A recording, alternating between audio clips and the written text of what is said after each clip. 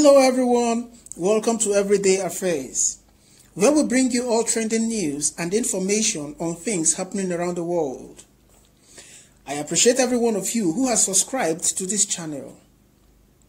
However, if you're yet to subscribe, kindly click on the subscribe button on the right hand side of your screen, written in red, subscribe, and also hit the bell icon by its side so that you can get notification whenever a new story is published. Thank you and stay tuned. Igbo car dealers decry customs clampdown in Lagos.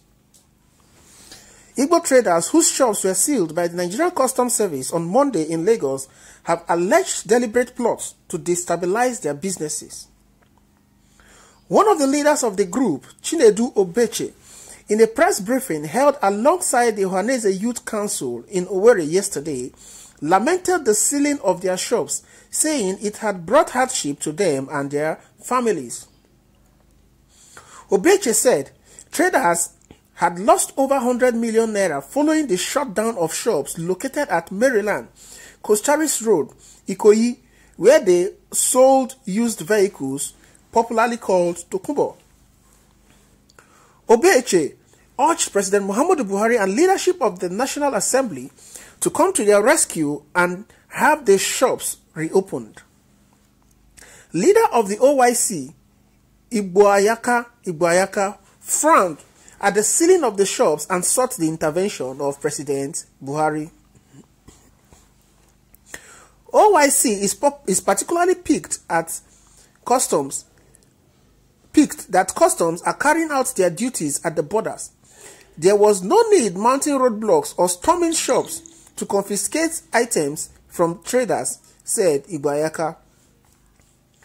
Of particular note is that some of the actions and policies of the customs were targeted to harm the success of Igbo-owned businesses and this will henceforth not be accepted.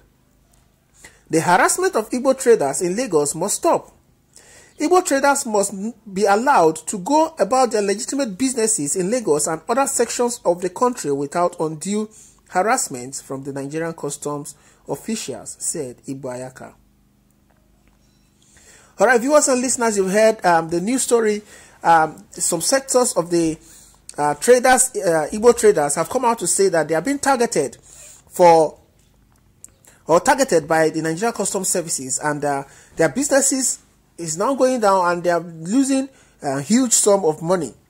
Well, it's a general thing I would say from my own point of view because recently the, the, the border closed down by the uh, uh, federal government has affected so many other businesses. But if you look critically at the recent incident that's been happening with the Nigerian customs, just yesterday, you know, we it was in the news that they, they, they, besieged the uh, Fraser Hotel in Abuja and, uh, you know, uh, uh, requested that uh, cars Owner, car owners come down, and identify their cars, and you know, so many things. Somewhere, some people said that uh, some 11 cars were impounded.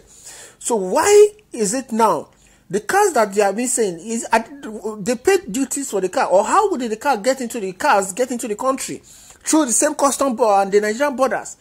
Who who who, who allowed them in? These are you know questions are begging for answers. I don't just know what is going on recently in this country.